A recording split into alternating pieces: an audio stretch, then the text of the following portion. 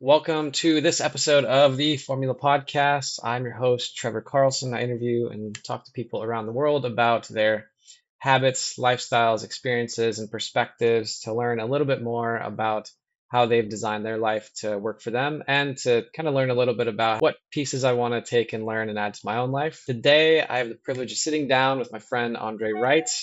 Andre, we met years ago in the entrepreneurial program, or on not in, but around the entrepreneurial program in Iowa City when you were doing, uh, I believe you were one of the organizers of Flyover Fashion Festival. Yeah, yep, um, yep, one of the organizers. Yep. You're a guy of many talents, uh, many experiences, but how uh, how would you describe or what are you doing now? Like, what's going on? First, you know, hello to everybody, but then let me say, I always describe myself first as uh, a husband, uh, father, uh, brother, a son, a cousin, a community member, and then and then I put an asterisk and I say educator, artist, designer, business developer, entrepreneur, and those are my categories.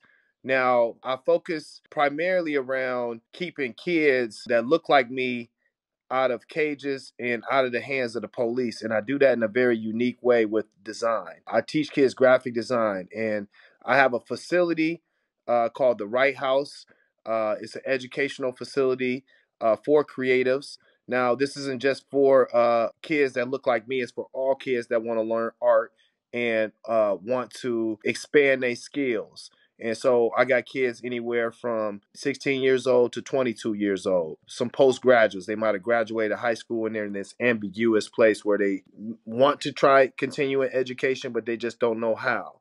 And so I help those kids understand the importance of education. And, and, and, so I guess you could say right now, my primary thing that I'm doing is educating and teaching people what I, I knew before. We got some pretty robust programs that we're offering um, as a part of our organization. It's a 501c3 nonprofit, so it's my way of giving back to the community. So uh, we're going to do this really cool thing uh, coming up here in March where we teach graphic design, fashion design, and branding and marketing in the evenings from 5.30 to 8 o'clock and we're calling it night school and we making school cool again. So that's that's what we got going on uh, right now as far as our organization but obviously i'm doing a lot of other things in the community try, to try to make the quality of life better here for where i live. Nice. And that sounds like a lot.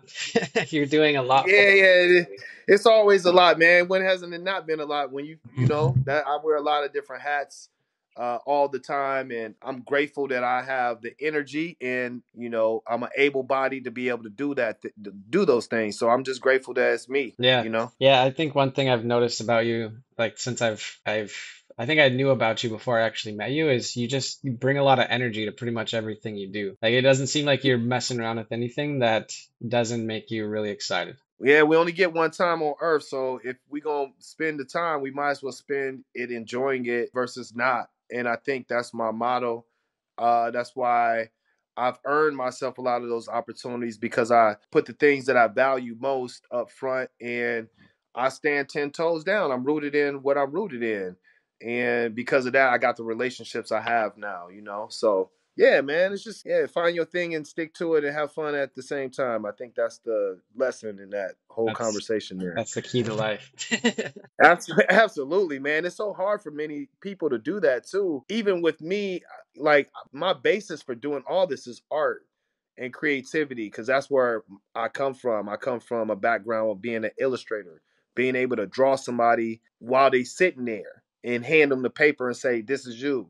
That's my background. So all my skill set, my problem solving abilities, all come from a creative background. And I just stay in that vertical and I show uh, other kids how they, they can unlock their superpowers as X-Men and use their skills. And that's what that's what we're doing. You know, we're just doing that. You know what I'm saying? Like we bring in something to, to our community that's never even been here before. So it's revolutionary, it's pioneering, it's trailblazing, all those uh, words that you might say about the work that we're doing. So yeah, if I could guess that you had like one other like key to living like a happy, fulfilling life, it's travel. so yeah. How, how yeah. Many, how many countries you been to now? So I've been keeping a running list of 23. Yeah. 23. Uh, and I'm not counting USA as uh, a country because I actually live here. Right. Uh, but on any given year, I've lived in these other ca- countries either a span of two days, one day, uh, two weeks, three weeks, sometimes even a month. Mm-hmm. And I've, I've afforded myself that luxury as well in, in starting to travel uh, just at 38 years old. So I've been doing this now for almost a decade. Uh, Nice. Uh, maybe you know, so I'm a seasoned traveler. Mhm. I, I like I even claim that title as traveler now. That's a thing, just so y'all know. Being a traveler and somebody telling you that you're a traveler is like a, a it's kind of like a, a, a special gift because everybody can't do that. And Mhm. we when you say when when another person say you're a traveler, that means something. Yeah, for sure. It's like a it's like a badge. Yeah. What got you into, because I think that was one of the main things we wanted to talk about is like, like what got like travel specifically, but what is it that got you into travel in the first place? Because you waited until, I feel like most people when they do like the whole backpacking thing, you know, they're like, spe- I mean, if, maybe not American, but like the uh, like Europeans are like 18 to 22, 23, they're going backpacking, but you're 38. And you're, and you're like, so what what was it that got you to do that? So I got a friend of mine who he used to travel all the time, and I never understood it because I never had been anywhere. And, and he had been to like I think at the time he had been to like 130 something countries, and I'm Wow. I'm blown away. I was just like 130 countries. That don't even sound right. I'm like, how? Hmm. Where he's like, you book your ticket and you hop on the airplane and you go. And I'm like, you really can do that? Like you can just hop on the airplane and go. And I didn't even real I didn't never realize that. And so I was intrigued by that, and I I started to really trans my family. I came home and I started telling them all this stuff about this family friend of ours. He's a family friend. Actually, he's the godfather of my my my daughter. And I said, "Hey man, I want to go with you sometime." It just like that. He took me to the library. I got my passport. I filled out the information. We submitted my thing. I went to Costco, got my four passport pictures. A month and a half or a few months later, I get my passport in the mail and I said, "Hey, I'm ready to go." And just like that, a few weeks later, I end up in Hong Kong in the middle of the night. Wow. And I think the district is called Wei Fai Long, where they party at, right? Like, uh, there's an area there that I'm talking about. It's the wildest party from so many people from all over the country ever. And I didn't sleep that night. We slept on a bench, a park bench, because we had so much energy. And I knew that the next day we was meeting my friend's friend for dim sum in the morning, and we had another flight where we was going to South Korea. So it was like we didn't even sleep. I just got there and I was just like, whoa, this is crazy. Let's sit up on the benches. Uh, let's have a few brews and then let's tour around in a few areas. And then the next morning we had the dim sum and then we left. It wasn't like a really long time. But yeah, I've been to Hong Kong, man. I've, I've I've been through that area. Yeah. So when you talk about travel, do you have any places that really stand out or make you feel like like they were, was there a trip that you went on that you felt like changed your perspective in a way that maybe you look at travel or look at look at the world or even yourself? Yeah, there was one place in um the first time I went to Cambodia. Uh I en- we ended up in Phnom Penh and we hadn't been to a bunch of museums and stuff like that, but the first museum that I actually went to was S21, which was the torture school, which a high school basically from Pol Pot, who was a, a dictator who lived during our time that basically committed a, a one of the more most horrific genocides of his own people during the during the time that we lived and I had no idea that this even happened. And so I was intrigued by all that information uh going to the school and learning about uh Pol Pot and the Khmer Rouge and what they had done and there was movies and stuff out and I was just I was ignorant. And we went to the killing fields that day and and, and did a tour. And wh- while we were walking through the tour, me and my friend, we had our water bottles with us, but there was a kid who was in the field with his mother, and his mother was picking like some green leafy plants. But the kid was at the at the gate with his arms up, looking in the gate with his eyes, and his eyes was all teary, and he kept saying food and water, food and water. And when I saw that, I most immediately get super emotional having seen what happened to the, the population of people that were Cambodian, understanding that these was people with with a lot of melanin in their skin, and they was they was basically uh, erased from Earth. I gave him my, my bottle of water and a, a, a, a parcel of bread that I had just so he could have some food. And that just made me think like, man, how many more people we need to do that for? Not just here, but all over the world. And it kind of prompted my travels when I when I go to these places and I, am not staying in the the the, the Ritz Hotel. I, I, might stay there now, but when we was first traveling, we were staying in hostels and we were with the people in the community. And I was really understanding how big the world is and how big uh how much we're not how much black people were not minorities but we were also part of this world majority conversation.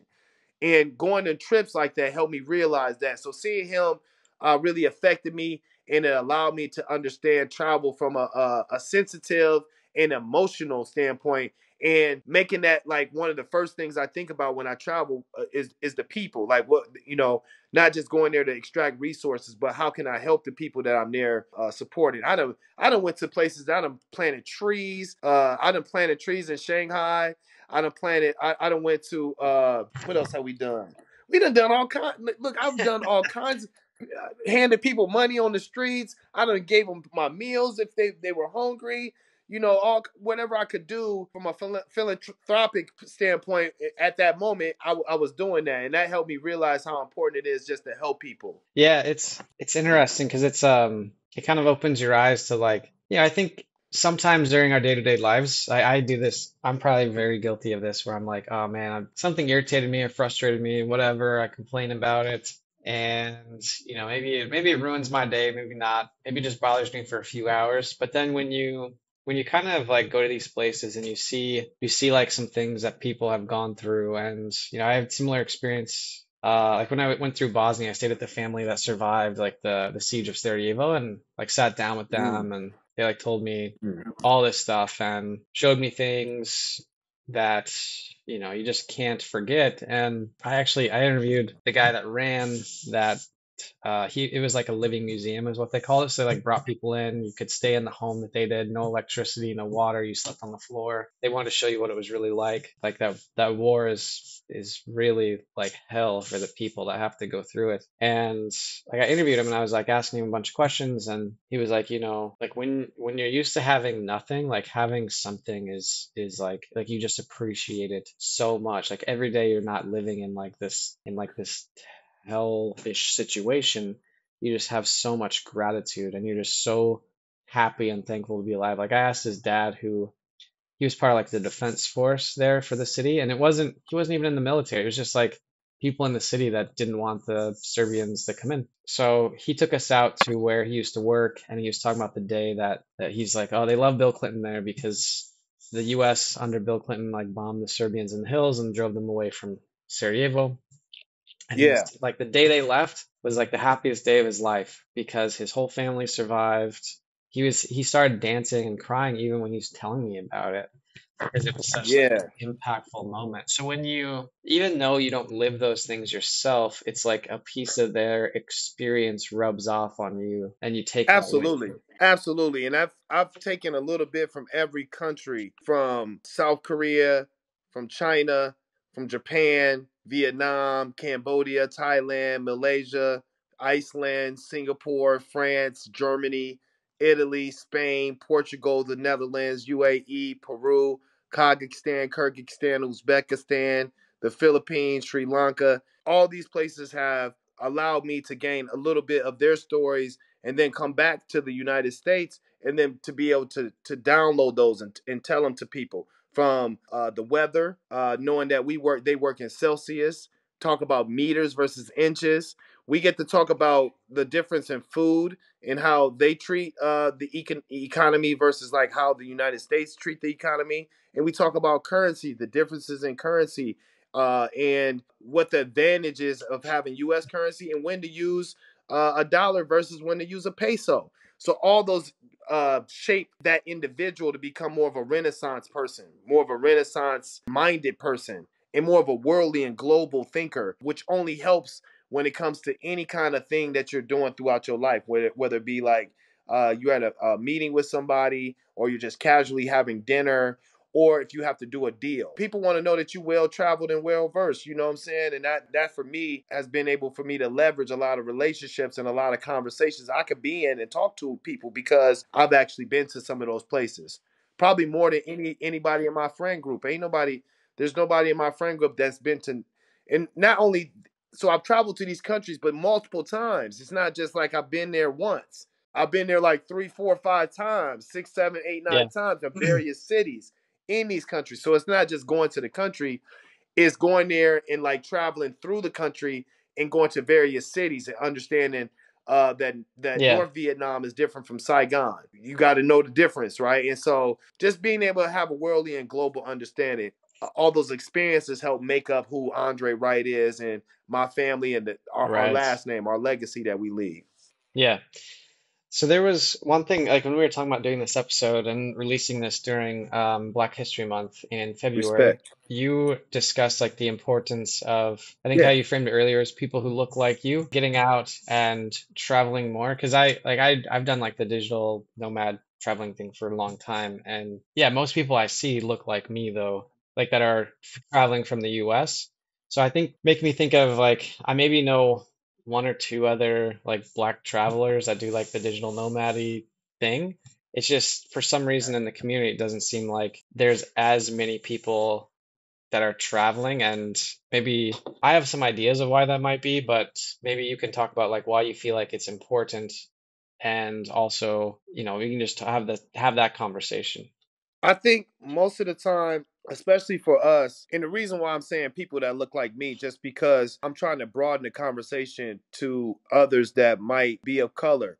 I'm specifically talking about black people in this when I'm when I'm referring to this particular topic. When you look at passports and we look at people who actually have passports, uh, black people have the lowest population, uh, have the lowest passport rate out of any other race. And I, I think that could be just that uh, we don't have the financial or we think that we don't have the financial means to travel, right? Because you and I know that it's not as expensive as what people if you never done it before, you think that it's like a gazillion yeah. dollars and it's scary and all this stuff, right? But if you do it and you do it uh, frugally, you know you can survive.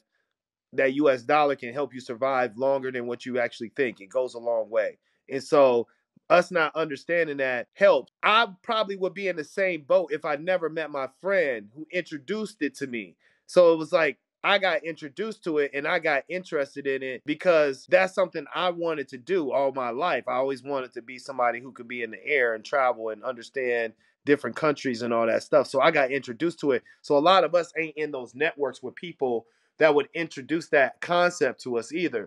I think those are more people that are in more professional roles or have infrastructure in their home and families typically have the luxury to do travel like that or have been taught how to travel or understand the importance of it. And and, and that's why you see other demographics travel more than black people do. Because i wouldn't just say americans travel a lot. I mean the Aust- australians they travel a lot. The chinese they travel a lot. I mean you see other cultures when you travel you you can recognize the different types of cultures that actually do travel. And it's not mostly Americans. Like, if we want to just even be honest about that, the most of the digital nomads or the people that's just doing a thing, they not Americans either, right? You know that, Trevor.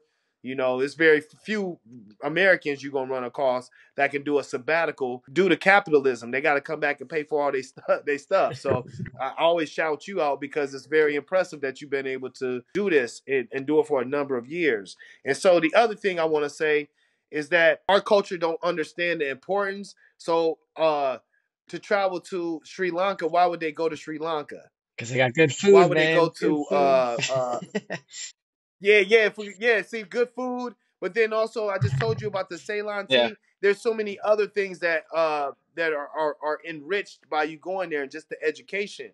And I feel like if our culture knew that there was going to be an incentive and benefit to be able to do that. There will be more travelers. Even though we do say we want to go to beaches and do all that stuff, we do want to do that. I, don't get me wrong. Our culture wants to be a part of the, that culture. We just never been introduced to it in a way. So for me, uh, my influence is I'm showing you how you can do it. And I'm talking about it in abundance, and I'm having fun doing it, so I can influence you to, to for you to take your next trip and for you to fly to somewhere that's foreign that nobody's ever heard of and introduce us to it. So that's kind of how I've been using my travel uh, especially like on my Instagram page. If you go to my Instagram page, you could kind of see the different things that I've done in those areas. And I hope people are being inspired and want to uh, go make their own travel plans and go go to places that I've never even been mm. before. And so that's kind of how I've been using my influence. Also, as just being a black man and traveling late in my life, you know, I'm not gonna wait till I'm 65, 70 years old when I can't barely walk to the place to go travel right now is the best time for me to make that move and go see stuff. And uh, I'm still agile, able bodied. I can still do a lot of different things, and that's why it's important for me to talk about that now. Yeah, for sure. And I and I think that it's also like like one of the things is I think being from Iowa in the Midwest, you're you're not very exposed to a lot of this stuff. Like I don't think I don't think I even really knew the only people I met that were doing similar thing to what I was doing were people that I saw like online and that I like reached out to and talked to and was like, yo, how do you do this? This seems really cool. and and then because it's if you don't have exposure to it, it's really hard to think it's even possible. So that makes a lot of sense that like folks in I mean, whether it's different parts of the US, different cultures in the US, if you don't have exposure to something, there's just like are you going to be the first one that just like sells all your shit, packs your bag, and just like goes to Sri Lanka? Pro- I mean, you got to have a lot of yeah, probably not. Yeah, that's a that's a hard. I mean, how you gonna do that? You you ain't had no ex, no exposure to anything. You gonna be scared fighting out your life, you know. So for me, it was my friend, and because he had been to all those countries, he knew that it was easy just to jump on the airplane. So his explanation to me is like, "Yo, you just get on the airplane, let's go." And it was just that easy for mm-hmm. me. But I I was exposed to that, and if I never had gotten exposed, if I would have never met him, and he was from somewhere else, he wasn't even from Iowa. If I would have never met him, I probably would have never. We we probably couldn't have this conversation or any kind of dialogue around travel because I wouldn't right. have been anywhere. Just yeah. Mexico. So if there's somebody who hasn't had exposure to this and they're thinking of, you know, getting started, what what would you tell them? Like if they're like, yo, Andre, I I would love to travel and try some of these things, but you know, I just don't know. Like maybe they're scared. Who knows what it is? But they they like have that innate feeling that's pulling them towards doing it, but they haven't made the leap. What would you tell them? You know, what I would do is first is do the research, right? I think that's before you do anything you do some research and get a travel plan. Maybe you could find some friends that have some like-minded uh, ideas like you and that want to do some stuff like that. I think that's always fun to travel with other people. Since I've been traveling with other people, I've now traveled alone. I can travel by myself, but when I first started, I was it was with other people. And then I, I know this might sound crazy, but there's those groups you can join like those uh, travel groups just to kind of like get a precursor for just being able to get in the air and be a part of a tour and just kind of it might be worthwhile to join a group just so you can like get your get your beak wet a little bit and then after that you can take your own trip but at least understand the idea around traveling because it's not easy as much as we have traveled, it's, it's really not easy from a logistical standpoint because you're going to places that don't speak the same language as you. They they don't talk, you know, they don't move like you do. It's all different. And so, especially if you're going somewhere far east, southeast uh, Asia or something like that, it's going to be very difficult for you to navigate. So, yeah, that's that's some few things that I would tell them for starting out and have a lot of courage and have a lot of fun and try new stuff. At one point, I jumped, I wasn't able to jump in the Pacific Ocean because I'm not that good of a swimmer. But this last trip I took, uh, we were in the Philippines. No, we were in Thailand. We were in Thailand, and I was able to jump in. Nice. I mean, come on, man. This is like this. It was a yeah. big deal for me to, to jump in the water and like off a That's boat. Sick. And, and I was the second one to do that, and I was I was pretty proud of myself, man. And that all the all, me overcame that fear through travel. Yeah, dude. It's through it's uh it's funny like as you're traveling around you you I think a lot of people think like yo if I just go travel or if I go do this or I go do that like everything will be great but I think what happens is whatever fears or all that shit that you have at home you might forget about it for the first week but at some point you still have that shit to deal with so yep you do you still do so but while you while you traveling just enjoy it every yeah. second of it because for the most part, um, even though I've been to some places multiple times, every time I've been there, I always thought like I probably won't ever come back Mhm. here again. So sometimes through your routes, like to get to a certain destination, you might go back to Cambodia and to Phnom Penh Mm. for a couple nights just to have a layover to get to the, you know what I mean? So it's been situations like that. And like I said, I've been to a, like think about it, Japan four, I've been to Japan four times, to Narita to Tokyo. I've been to Phnom Penh four times. I'd have been to Vietnam twice. I'd have been to, let me, let me think of the Philippines from Manila to Makati. I'd have been uh, multiple times. So you know what I'm saying? Like it's once you go there, you just don't know if you're gonna go back. But once you do go back, it's like, dang, I'm back here again, and you know, it's the, the experience is still Yeah, it's kind of like when you realize it's like the only time you might do something, you might value it a lot more. I'm a little Yeah. envious of like myself when I was traveling early on, because when I was doing all this stuff, I was just like, whoa, everything was just like, holy cow, this is so crazy. And I think as Yeah. I kept traveling and I realized like, you know, if I ever really want to go back somewhere, I can definitely like it's, it's not that hard. You just yeah. You can just go, So right? think You've normalized. You normalized it. it. It's normal for you now. It's not as Mm. exciting. Let me ask you, Trevor. How many places have you traveled to since you've been traveling? Have you keeping? Do you keep a running Uh, tally? so I'm pretty sure I just make up a number every time someone asks, because I'm just like I know roughly it's it's like over 30 but less than 60. That's like my range. I don't know exactly the number, but because it's like Yeah. almost every country in Europe, lots of Southeast Asia, some in the Middle East, uh, two countries in Africa, Mexico, Peru. I don't know, all over. Just a lot of places. So impressive, man. That's so impressive, man. That's why I say you like my best guy. When I talk to my guys about they travel, I'm like, no, I got a guy too, Trevor. He's done been to some places too. I got people too, man. Don't think you the only person that got travel friends. Yeah. Well, it's like I think You I know? I just I do stuff a bit differently too because I think when I, oh you were talking about pri uh like how much it costs earlier, right? And I think when people look at how much Yeah. it costs to travel, they're like, "Yo, I'm gonna go to Paris. I'm gonna stay in like this fancy area. I'm gonna go to I'm gonna go to London. I'm gonna go wherever." And I've been to those places, and let me tell you, they are way more expensive and way more disappointing than if you go to like like I love Albania because it's cheap. Like I should well, it's I shouldn't say cheap, but it's like the, the, what you get for your dollar is a lot, and you can have You get the yes, value. you can have a really good time on a very limited budget, and you get to experience all these things: nature, good food, great hotel or Airbnb or whatever you want.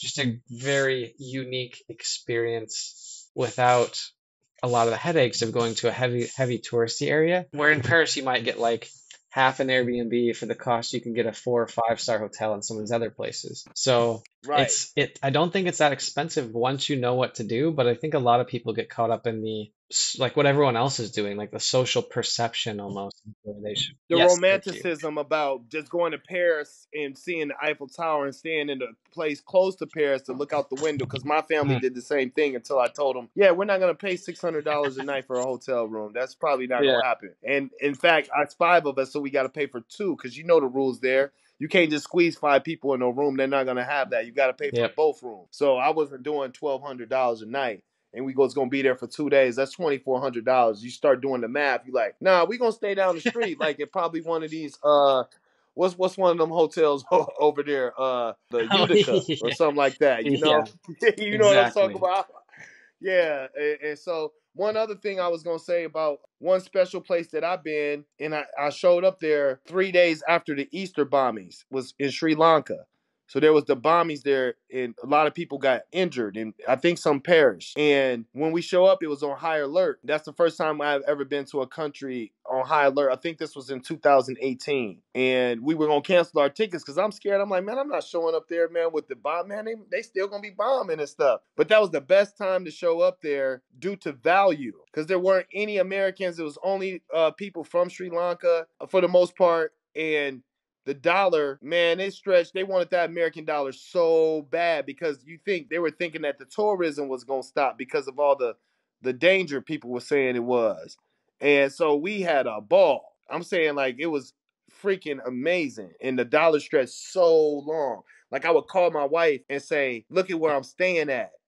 And it would be like next to this, I mean, the mountains like right there.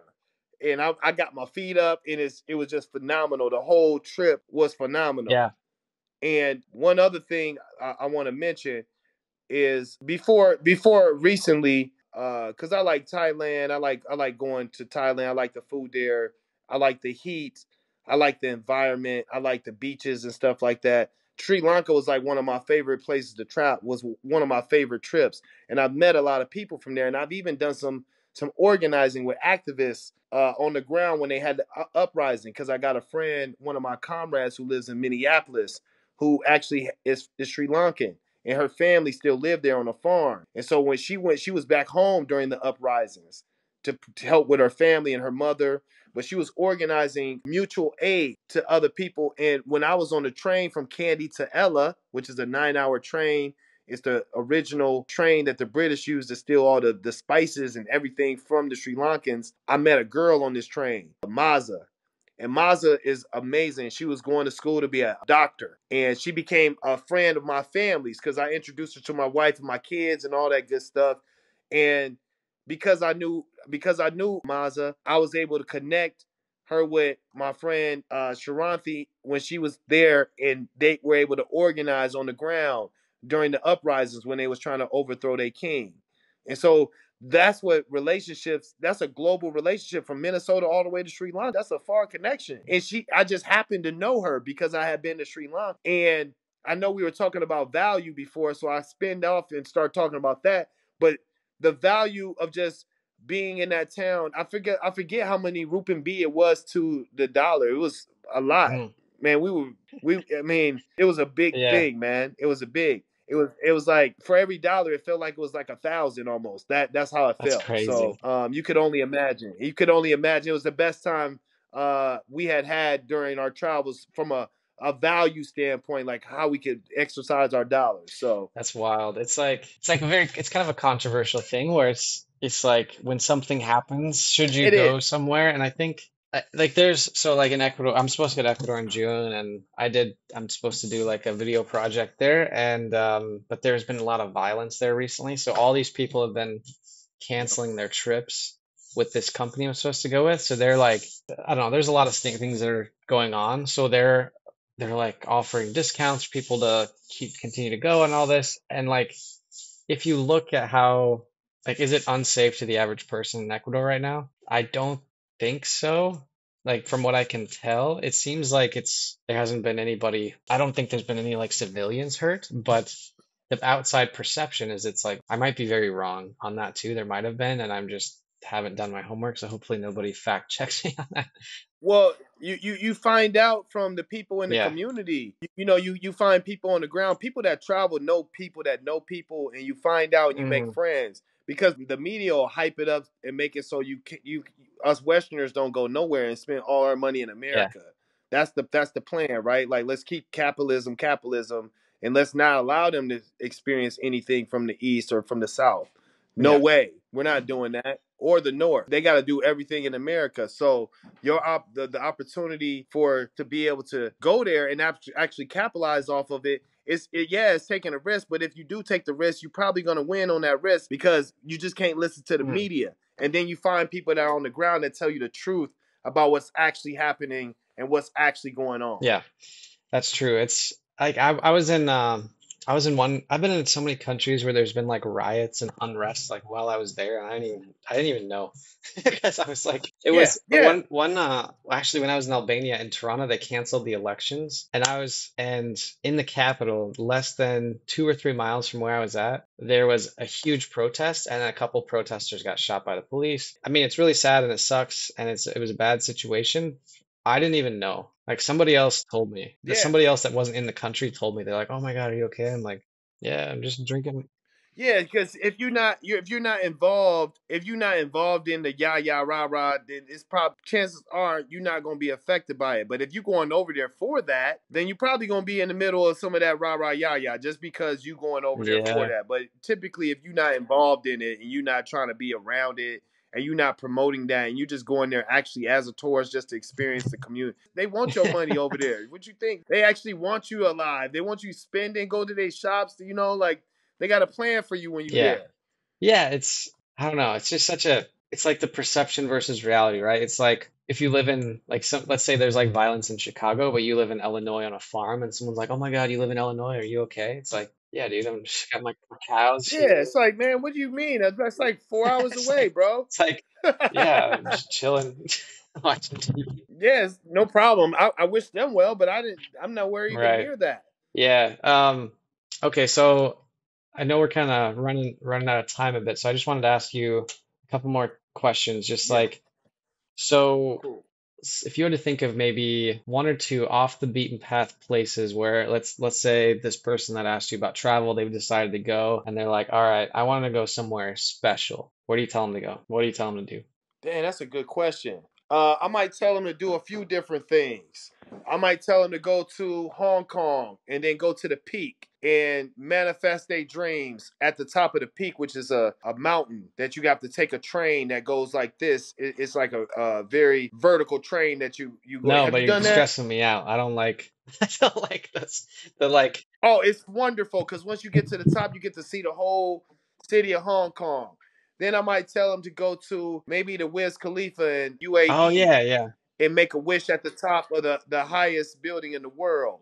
Something like that. I might tell them to go to Coron or a beach somewhere in the Philippines and maybe go sit in some hot spring and see how that feel and being in another country, relaxing country. I might tell them to go to Japan and experience the sophistication of the people and understand their cleanliness of their, their downtown of Tokyo and, and just and- wonder why they even want to go back to America and experience the jungle that we live in and all the mess that we have to deal with because these people are so orderly. I might tell them stuff like that. You know, different experiences that I've had then I've been able to come back and and, and uh do. I might tell them stuff like that, Yeah. Trevor. One question, do you plan your travel out or do you kind of like let it happen as you go? Mm. Both, both. So it's been like on this last trip, we planned to go to the UAE, which was planned, and we plan to go to Thailand, and we plan to go to Kyrgyzstan, Kazakhstan, and all those places. But in the midst of uh, going to some of those places, like when we were in Thailand, we got bored with sitting in Bangkok.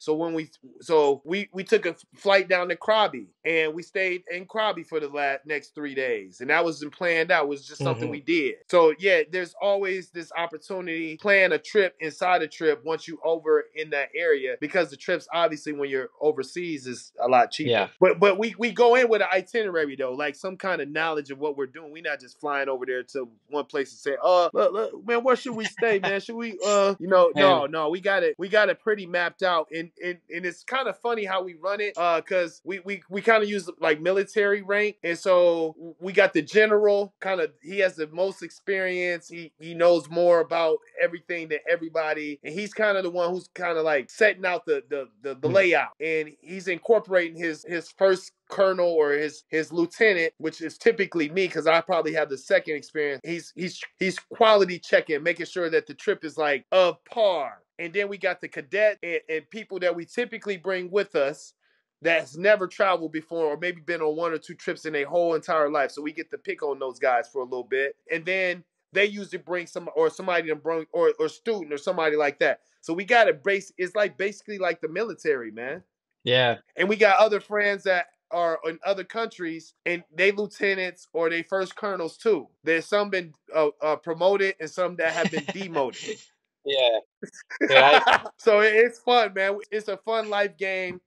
Uh, it's like Monopoly in real life, I guess, if that's what you want to say. It's like uh, world world Yeah. Monopoly. Dude, this cracks me up because I feel like the way that I do this a lot of the time would stress you out where I'm like I'm like at the airport before my flight leaves and I'm like trying to figure out where I'm gonna stay when I get get to this place that's 20 hours away. And I'm like I'm like, you know, So you you use a lot of Booking.com. yeah? Airbnb booking. Um, sometimes I'll reach out and see if I can just book directly with them because that's a money saving tip. Like Yep. if you can book directly with them off the platform, then they save money too. Or you just book like one night and then they let you extend for cheaper rate once you get there. Let, let me ask you a question. Do you plan on uh, coming out with a travel guide or some kind of publishing some kind of book on like the right way to Mm. travel or some kind of like like workshop or maybe some live video of Yeah. you or or are you gonna be the next? Uh, what's that guy who uh says wow after everything he eats? Mark. Oh no. Uh, No. Mark Wiens. Let me Mark let me send you something. So I have a full travel channel that I'm just still publishing like my India videos now. I think I'm up to I'm just under 7,000 followers on it, so it's slowly getting there one day at a time. Um Okay, so you got something you working on. You cooking yeah. I'm I'm this is this is the what's what's that uh, you made me think of that clip. It's like let him cook. It's like this is I think this is the year that that it's going to take off because I've been starting to get some like paid paid collabs and paid trips and stuff like that. So like the Peru trip was 100% paid for. I got altitude sickness from from hell, man. I was supposed to be recording. You didn't I on the did cocoa leaves. everything, man. I had cocoa leaves. I had I had the medicine that you take for it. Yeah, I was gonna say, did you get? Did they give you the? Bro, I had everything, and I I got like I got like asthmatic symptoms at that height at because we were at like we were we didn't go below 50 no not 15,000 what was it we didn't go below Well, it's eleven thousand. The elevation is what? Eleven thousand. Eleven thousand, isn't it? That in? Cusco but we went all the way up to we did this high altitude trek for five days and it was like we were we hit I want to was it 15,000 or 17,000 was the highest we hit feet yeah and it was I just got wrecked dude I'm I had to ride the horse ambulance and yeah Get out of here for real. You were that guy, I- man. Like,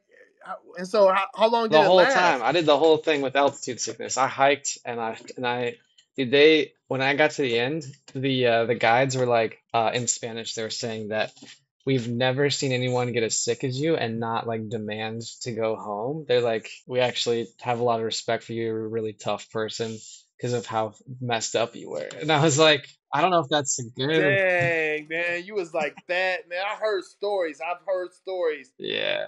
But it, but I, and I took my family. It was me and my kids Yeah. who went. Like I took if my wife didn't even go. It was just me and the three kids. And man, it was funny. I, I got a story about the cocoa leaf. We, you know, you're supposed to chew it and spit Yeah. it out, right? Like get rid of it right away or whatever. We had that shit in our mouths for like hours, bro. I'm talking about all the way till we got to the hotel. And my friend looked at us like, y'all still got, you guys are gonna die. You still have the cocoa leaves in your mouth? He's like, yeah. You guys are gonna die from that. You know, it was just it, it was just a joke. And my daughter, she opens her mouth, she got a whole bunch of leaves in her mouth because she didn't want to get sick. And she's only like five years old at the time. It was just the most cutest Oh and the funniest God, thing. dude, that stuff that stuff is potent, man. You got to be careful. It's strong, dude. It's strong. It's real cocaine leaves, man. It's real. Yeah, it's oh my God. Yeah, we could talk just probably another hour about Peru. oh yeah, just about the Oh Peru trip. God, yeah, that was it was wild. I'll send you the video I did for the for the company. It's on their channel now, but I would love I would love to see it. you can you can see me in my oh I I I'm putting another one up on my channel where it has uh it has me on oxygen. It has me like swearing up a storm because I'm just like this is the fucking hardest thing I've ever done in my entire life.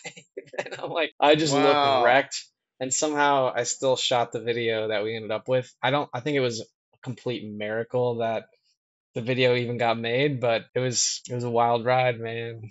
Yeah, I, I can only imagine, man. Like I heard the horror stories, and I, I got a little sickness when I was over there too, like from hmm. food, but not the altitude sick. Well, I had to take the Pepto Bismol. I had to drink a, a glass of hot mint water to try to cool my stomach down. I had ate some street food and messed my stomach up. So I know what you mean, man. I was Yeah, sick be as a careful with that, man. I've I've had that happen. Yeah, you do, man. I, I learned my lesson. I don't really do that as much anymore. I might every now and then dab, dabble, but I would have to be very intoxicated for me to Mm. do that. But for the most part, I'm going to like more quality. I'm older now. Like I did, I did all that stuff back when we were first traveling. Now I go to quality restaurants. I try to stay in the best hotels, whatever I can do, just to not be a part of that type of Yeah, life. You know, when I'm not with my fiance, I'm I'm staying in I'm stay I'm going like in the dirty places, like checking things out. Yeah, well, yeah, yeah, absolutely, yeah, yeah. You you you're not gonna do the Taj Mahal Yeah. by yourself, but yeah, you're staying in the hostels, the little uh, what do they call them, the pill Yeah, yeah. Uh, Yeah. sleep rooms. Yeah, just just one room, one bunk bed. You don't need a whole Mhm. lot. You know, us guys, we don't need Right. a whole lot. That's true. All right, one last question. Just any piece of advice for anyone really looking to like to get out there and travel. Any anything you would tell them as they're as they're packing their bags to hit the door. First of all, let's make sure you got a passport.